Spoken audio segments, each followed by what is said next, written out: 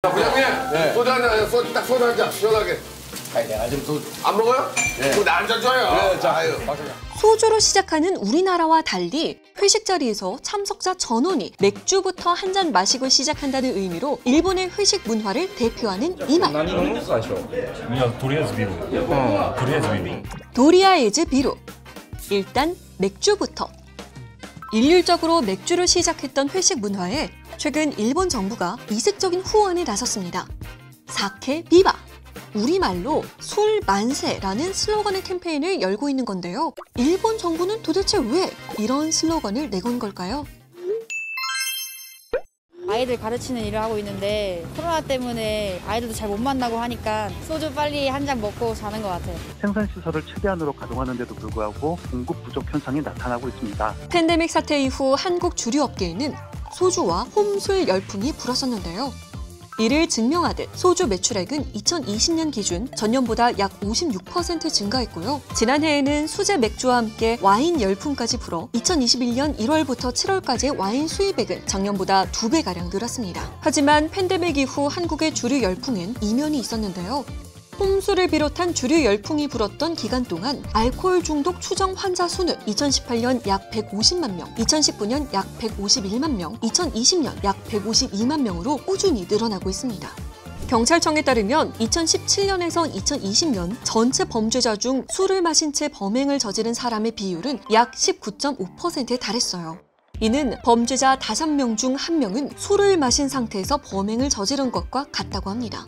이렇듯 팬데믹 사태 이후 한국뿐만 아니라 세계 각지는 또 다른 후유증에 시달리고 있는데요. 유럽도 우리나라와 상황이 다르지 않았습니다. 영국 알코올 연구소가 발표한 코로나 숙취 보고서에 따르면 2020년부터 2021년 사이 영국의 off-trade 술 판매량은 약 5,250만 리터로 전년 대비 24% 증가했습니다. 2020년의 경우 알코올 관련 사망자 수가 전년보다 20% 늘어났어요. 그리고 이런 상황은 올해에도 비슷할 것으로 관측되는데요. 유럽에서 알코올 소비량이 가장 많은 독일의 경우도 이를 대변하고 있는데요. 독일의 알코올 익명 도움 전화에는 코로나19 발생 이전 하루 10통보다 배나 많은 하루 20통의 지원 요청 전화가 걸려온 것으로 집계됐습니다. 팬데믹 사태 이후 세계 각지에 알코올 중독이 또 다른 사회 문제로 야기되고 있는 가운데 전 세계 대부분의 국가들은 절주를 권장하는 추세예요. 하지만 일본은 달랐습니다.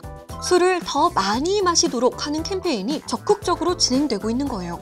이는 최근 조사된 일본인들의 음주 습관의 변화가 큰 영향을 끼친 것으로 보입니다. 일본의 연간 주류 소비량은 1997년도에는 약 966만 킬로리터였지만 2017년에는 837만 킬로리터로 줄었는데요. 이 중 남성의 경우 하루에 술을 한 잔 이상 마시는 날이 주 3일 이상이라고 답한 비율이 전 연령층에서 감소했습니다. 여성의 경우 술을 거의 마시지 않는 다는 답변이 전체적으로 늘었는데요. 이런 영향으로 일본의 무알코올 음료 시장은 최근 10년간 거의 4배 가까이 성장했어요. 일본인들의 주류 소비 세대 교체에 따라 일률적으로 맥주를 시작했던 문화가 사라지게 되는데요. 이에 따라 일본인들의 회식 문화도 각자 취향에 맞는 음료를 마시는 분위기로 바뀌고 있습니다. 급기야는 술을 팔지 않는 고깃집도 생겼어요. 이런 현상은 일본 문학계에도 영향을 끼쳤는데요. 일본의 저명한 문학상 아쿠타가와상 수상 경력의 작가 마치 다 코도 돌연 40여 년의 음주 경력을 단절하기로 하면서 맨정신으로 살다라는 에세이를 냈습니다. 에세이에는 작가가 갑작스럽게 술을 끊은 뒤 일상을 기록한 내용을 담고 있는데요. 많은 이들의 공감을 사게 되면서 3개월 만에 구절을 찍을 만큼 큰 인기를 얻고 있습니다.